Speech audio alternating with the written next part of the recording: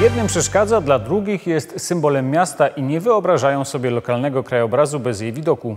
Kładka dla pieszych w Dąbrowie Górniczej prowadząca do jednego z centrów handlowych przechodzi do historii.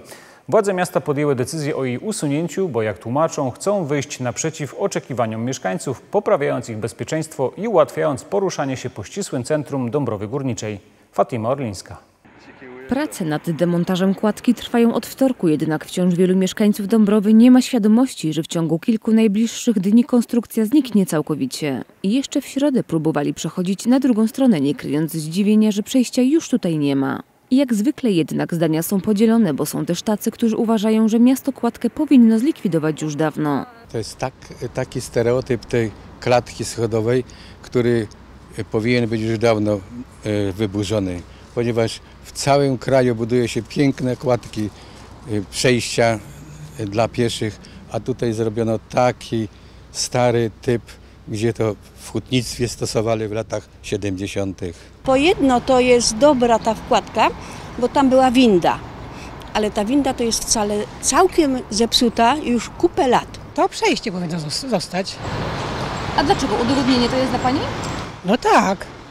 Bo nieraz na, no, dzisiaj żeśmy przyjechali samochodem i nie, tu nie ma gdzie stanąć, musieliśmy podjechać pod sklep.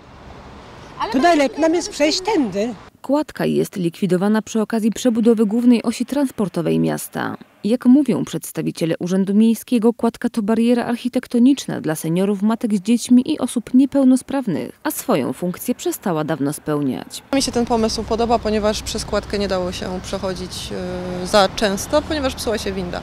A jednak wejście z wózkiem i dzieckiem po schodach jest dosyć problematyczne. Więc jeżeli zrobią przejście tutaj, to ja jestem jak najbardziej za.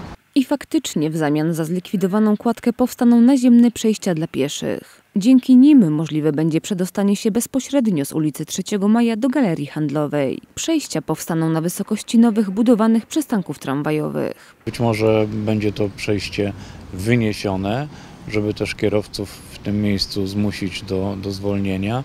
Rozważamy też taką możliwość, e, pozostawimy sobie tam e, instalację, e, żeby ewentualnie dla pieszych zainstalować w tym miejscu wzbudzaną sygnalizację świetlną.